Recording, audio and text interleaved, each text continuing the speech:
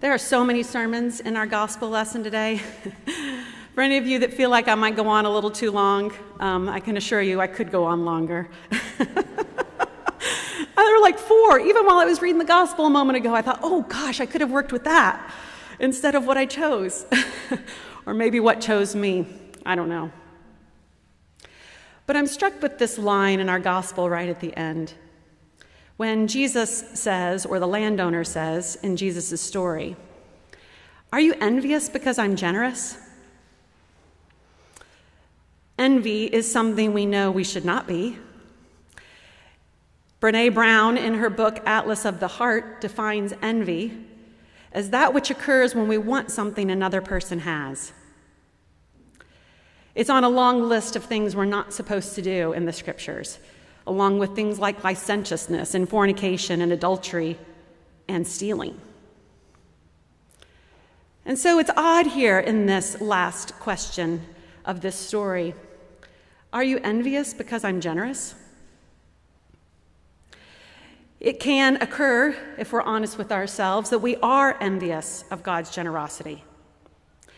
It's something that surprises us because even the most noble and most dedicated follower of Jesus can be caught off guard by this, as is made evident in both our Old Testament and New Testament gospel lesson.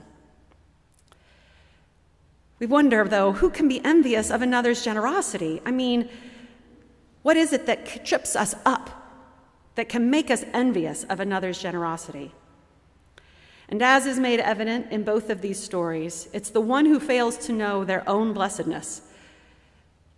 It's the one who fails to know their own benefit of the same generosity.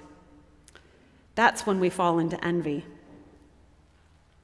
I want to start by looking at the story of Jonah. We've come here to the end. Rarely do we get to hear that part. We all remember the beginning Jonah being sent out by God to go to Nineveh to preach to them that they need to repent and receive the salvation of God. The Ninevites were not the Hebrew people. They weren't supposed to get this message.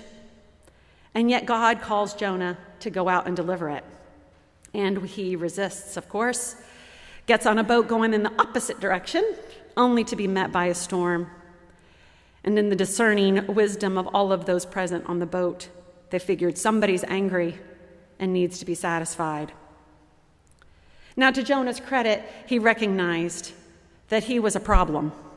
He knew in his heart he was running away from God. There's no doubt about it for him. He just hoped nobody else would notice.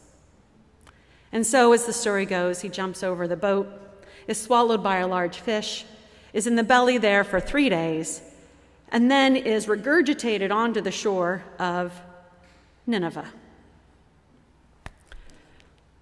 This minor prophet is the only prophet read by the Jewish people on the most significant of days, Yom Kippur, the Day of Atonement, which is tomorrow.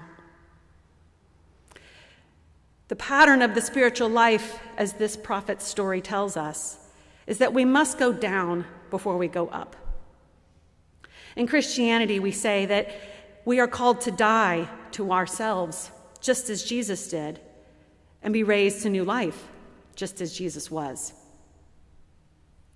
Now, none of us knows what to die to oneself means because we don't know the ways that we resist God's transforming power.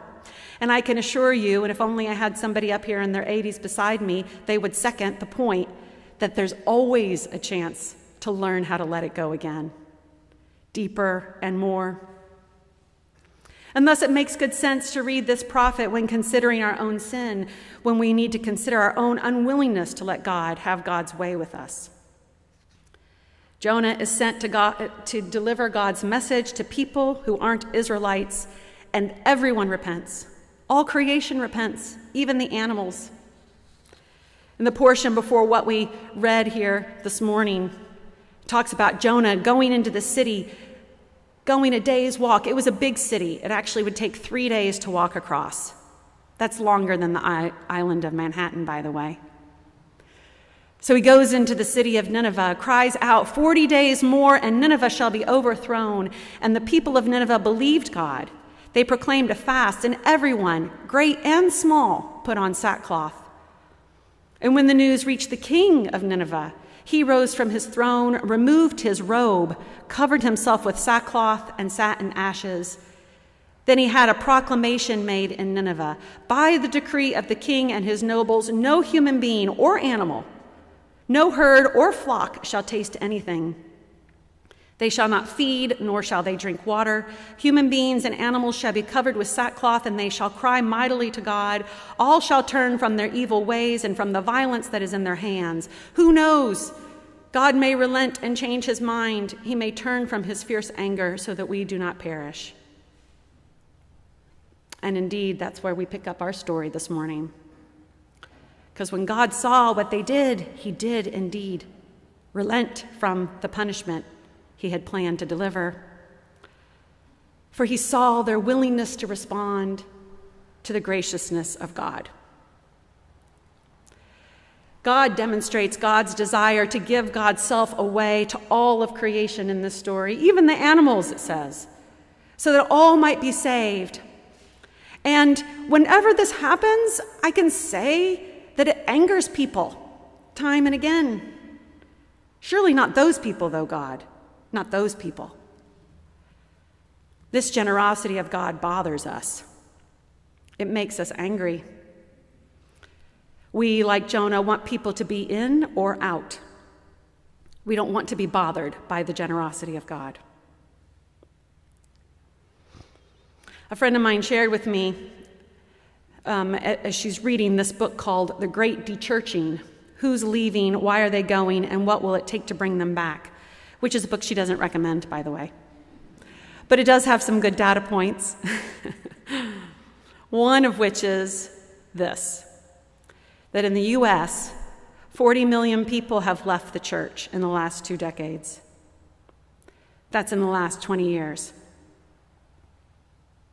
You sure, certainly have noticed that. People who've been at St. Stephen's for longer than 20 years notice that. They remember back at the last end of the last century when there were 100 and some kids in church school, when there was a youth group of 40 people, when there were so many folks that they considered building a building out where the garden is now. They were going to call it the West Building because we already had a North Hall, so we needed a West one. What has happened? People have asked me. Orlando Costas, in his book, The Integrity of Mission The Inner Life and Outreach of the Church, which is a book I do recommend, says the following Church growth is not an ultimate, it's a penultimate. This growth is to be measured not simply by the number of people entering into the church's fellowship, but especially by their participation in the bringing about of a new order, in establishing a community of love and struggling for justice and peace as an anticipation of the ultimate revelation of God's kingdom. Orlando Costas was born in 1942 in Puerto Rico. He came to New York in the Bronx when he was about 12 years old and experienced the real prejudice against people who were from Puerto Rico. Inevitably, eventually, he moved to, with his father to Bridgeport, Connecticut, just down the road. Grew up going to the Black Rock congregation, which is still there, at least until his young adulthood. He lived a life of mission work, but called us to consider it differently. He died at only 45 years of age, and in that time wrote eight books four in Spanish, four in English, and The Integrity of Mission is one of his English books. You can see I recommend it. Look at all my little tabs there. I got so much I can't even open the pages without them getting caught on each other. It's not a very good, efficient way to access things. But Orlando Costas, writing in 1979, concludes his book with these following words The Christian church in the North Atlantic, during the last quarter of the 20th century, has been having to come to terms with the implications of the cross for its participation in God's mission after centuries of triumphal theologies of glory, with the accent on the virtuous lion of Judah, the victorious lion of Judah, and the glorious visions of a mighty, all powerful, conquering foreign missionary movement, the Western Church has been having to swallow the bitter herbs of the breaking down of Christendom. the resurgence of other religions and religious movements, the shutting up of many mission fields, and the feeling of inertia that has t- overtaken many Christians in local congregations. This book was published in 1979. I'm struck by how familiar it sounds. He goes on to say, in its crisis, in the church's crisis, a true state of spiritual agony, for we feel the pain of it, the church has begun to discover that the victorious lion is the slain lamb. The church is having to realize that its greatest glory does not lie in the marvelous works it is able to perform. It's not in the millions of dollars it is able to raise for the cause of mission, nor in the thousands of young people it is able to recruit for service in the world's remote parts, nor the fabulous reports they will be able to send back home. Rather, the church's glory will lie on the cross of Christ. Its greatest merit will be the sensitivity it is able to develop toward the leading of the Spirit its openness to his mysterious ways. The church's greatest achievement will be marked by its ability to serve humbly in collaboration with the thousands of churches and millions of Christians whom the Holy Spirit is raising among the weak and the disenfranchised of the earth. And the Holy Spirit is doing this without fanfare, without financial resources, and without academically qualified personnel. I recognize the spiritual agony of which Orlando Costa speaks because it came to a head in 2020. That's when people wondered out loud where is God? Where is God's victory? In the destruction of a virus, in our division of a as a nation, when our image of ourselves as the people of the United States was being torn down by history, which had then finally come to light for some of us. The question that echoed around was why won't God act victoriously? Where is God in this? Orlando Costas reminds us that our glory, the church's glory, does not lie in the marvelous works we are able to form perform. The church's glory lies on the cross of Christ. 2020 was a year of dying, literally and figuratively. We're still coming to terms with that time. Orlando Costas says our greatest merit will be the sensitivity that we're able to develop toward the leading of the Spirit, our openness to God's mysterious ways. Our greatest achievement will be marked by our ability to serve humbly in collaboration with thousands of churches and millions of Christians whom the Holy Spirit is raising among the weak and the disenfranchised of the earth. These are people that don't have all the fanfare or financial resources or academic qualifications. So that brings us to our question here as St. Stephen's. How are we participating in bringing about the new order? How are we participating in establishing a community of love? How are we struggling for justice and peace as an anticipation of the ultimate revelation of God's kingdom, knowing that we here are the penultimate? You might think this is a tall order, these questions, a big ask of the church, and maybe a big ask of you. And it is if you, if we try to do it with our own will.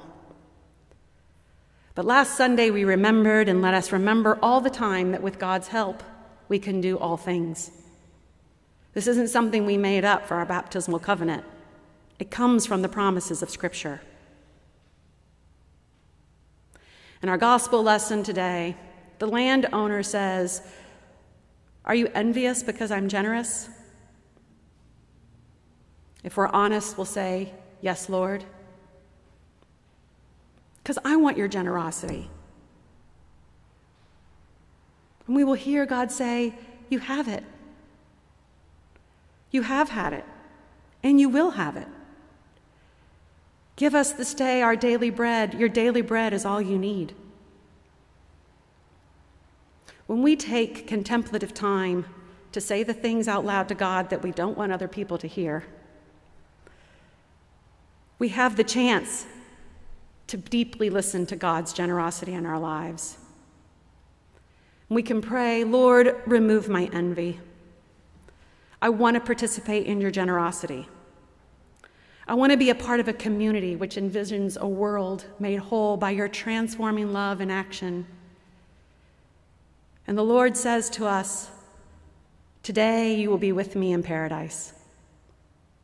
Today you will live conscious of my generosity. And the people say, Amen.